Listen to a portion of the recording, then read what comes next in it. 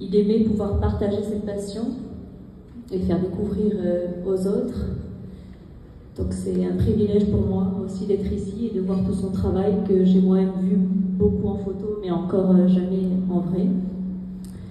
Je tenais aussi à remercier les nombreux messages que nous avons reçus, ma famille et moi, de soutien et de condoléances pour notre père.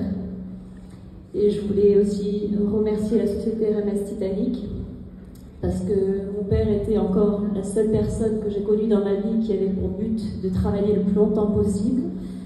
Et grâce au RMS Titanic, il a pu accomplir ce rêve parce qu'ils ont bien voulu de lui jusqu'au bout. Ce qui me plaît, c'est que je vois qu'il était apprécié de beaucoup de gens, de gens qu'il connaissait, de gens qu'il connaissait à travers son, son, livre ou à travers les émissions qu'il a faites.